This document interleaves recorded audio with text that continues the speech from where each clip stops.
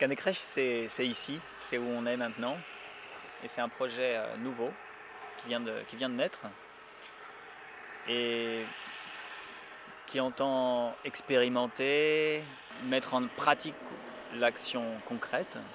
Par exemple, euh, euh, faire une production de, nourriture, mais aussi éco-construction, aussi énergie renouvelable. Mais c'est aussi un lieu de recherche pour rechercher sur la décroissance pour, euh, et pour disséminer les idées de la décroissance. Il y a, il y a plein de gens qui viennent et qui, qui, essayent de, de, vivre de manière frugale. Alors le problème c'est que vivre de manière frugale, avec peu, en consommant peu, en, produisant peu, eh ben c'est très difficile dans cette société.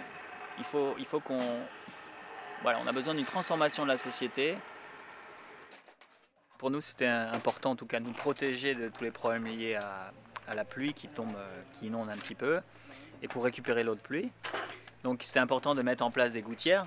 Et, mais pour ça, plutôt que de le faire très rapidement en allant acheter des gouttières toutes faites en PVC, on a attendu qu'elles soient qu'on en trouve des qui, étaient, mises au rencard, qui étaient jetées.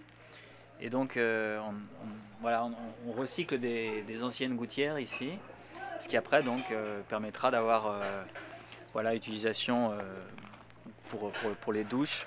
C'est plus de travail d'attendre, de, de, les remettre en, état. On n'économise pas forcément, mais on pense qu'il faut arrêter d'utiliser tant de, tant de ressources, de créer tant de pollution, alors qu'il y a tellement qui se jettent. Donc ici, ça c'est notre, notre compost là, qui est, qui est bien, bien chaud là. Donc euh, on met tous les, tous les déchets de cuisine et on, met à chaque fois une, couche de feuilles, de, produits carbonés, disons, pour, pour, que ça fasse un bon compost.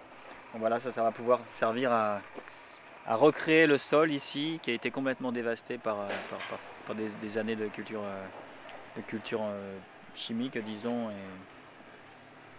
et, et beaucoup d'érosion en tout cas.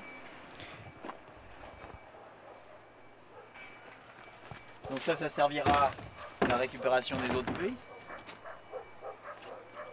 Bon là, c'est une, douche, solaire qui a été utilisée cet été, hein, qui, fonctionne de manière très simple. C'est juste un tuyau qui passe sur le toit et avec le soleil de l'été, ça, crée de l'eau chaude.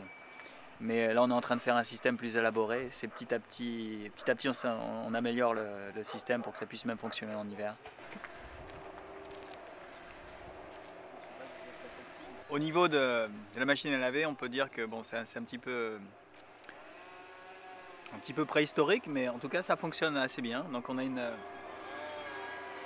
machine à laver qui fonctionne sur le principe du, mille, des femmes qui, battent le mille euh, en Afrique. Donc c'est convivial et ça marche.